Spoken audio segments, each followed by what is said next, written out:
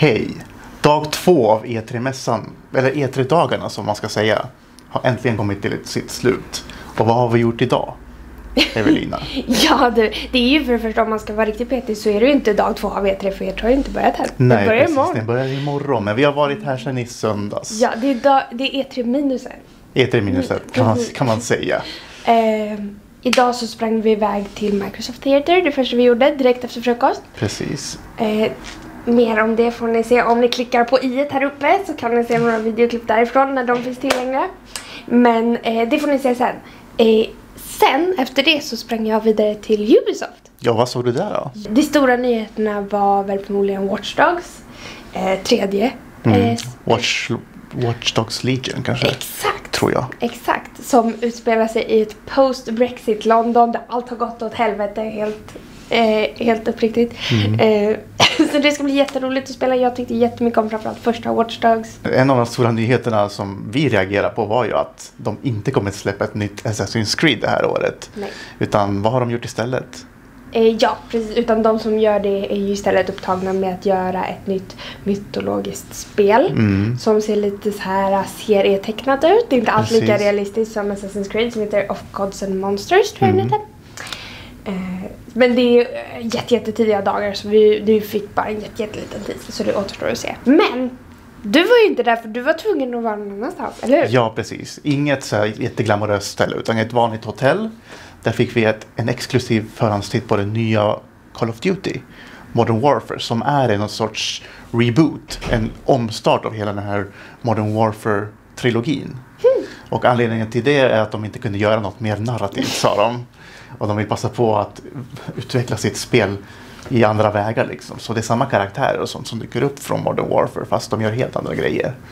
Och det här året säger de att de har satsat mycket mer på att inte ha så mycket pang på action utan mer ha ett realistiskt eh, spel där man ser kriget från alla olika delar. Inte bara ond och god utan även rebeller och vanliga människor. I demot så visar de en liten flicka som skulle fly från ett krigshärjat, krig, krigshärjat stad. Och det var väldigt intressant gameplay. Mer nyanserad. Mer nyanserat, precis. Ja. Var fin grafik? Det var jättefin grafik Ja, men det faktiskt. kan vi se fram emot. Ja. Eh, efter det så tog vi en liten snabbfika. Mm. Och sen så sprang vi vidare till Square Enix. Enix. Väldigt hypade presskonferens-event. Precis. Square Enix Live som var på någon sorts biograf av gammal sort kan man säga. Ja, precis. Och det första som hände, eh, föga oväntat ska vi väl säga, så visade de upp eh, nytt material från Final Fantasy 7 Remaster. Ja, eller Eller re- remake. remake snarare. Precis, verkligen. De har verkligen gjort om det. Precis. Inte bara gjort snyggare grafik utan hela spelet. Ja, det är inte längre ett menybaserat spel. Men, den, men den menyerna finns ju kvar såklart för den Mm. som vill ta sig sin tid och kanske kolla på grafiken och sånt där. Men för den som vill ha ett actionfyllt spel så är det som är huvudspelet då, säger så, Mm. om man så kan säga. Typ. Sen så blev du lite gladare, det var inte för Final Fantasy 7 utan för en annan. Nej, precis. När man började höra en viss låt mot slutet av presentationen. Och det var ju från, den från Final Fantasy 8 då. Ja. Och då blev jag lite gladare än vanligt och ställde mig upp och klappade händer och sånt. Men det rör sig alltså om en remaster. Eh, det andra stora spelet var, förutom Final Fantasy 7, tror det eller ej, inte Final Fantasy 8 även om det var stort för dig, nej. utan nya Avengers-spelet som kommer. Eh, där vi får spela som fem av våra kända, Precis. eh, några kända ansikten från eh, Marvel-universumet. Däremot inte samma skådespelare som filmerna ska vi säga. Nej, de gjorde en ganska stor grej av att nu kommer eh, skådespelarna presentera sig. Men det var ju några vanliga röstskådespelare som, som vi redan känner till. I, I den här tidslinjen, eller universumet vad man, ska, vad man ska säga, så har Captain America dött. Ja, Vilket vi som har sett eh, Endgame vet att det inte är så det kommer gå till. nej, inte helt riktigt. Men det som var konstigt var att efter ett tag när man fick reda på vad man, vilka man kunde spela som. Så tar de ändå upp att man kan spela som Captain America. Ja! Bland de fem karaktärerna. Så vi vet inte riktigt vad de planerar och så. Nej, också väldigt intressant. Eh, publiken skrek när de berättade att ja, du kan spela som Captain America, Hulken, Iron Man, eh, Black Widow. Black Widow och eh, Thor.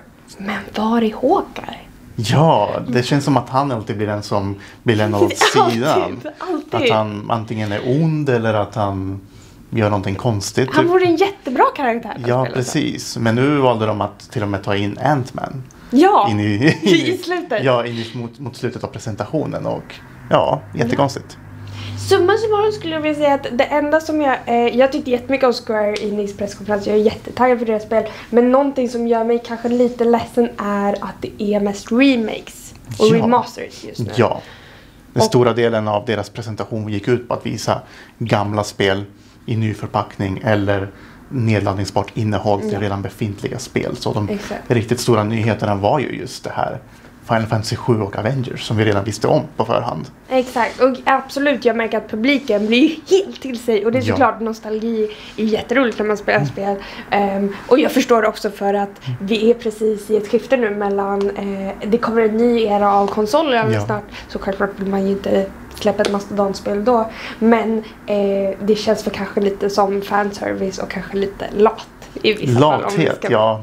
Tyvärr Square. Eh, och det, det är inte bara Square som gör det här ska vi säga. Det är Nej, flera eh, som kommer med mycket remakes och remasters just nu. Vi är i den eran helt enkelt.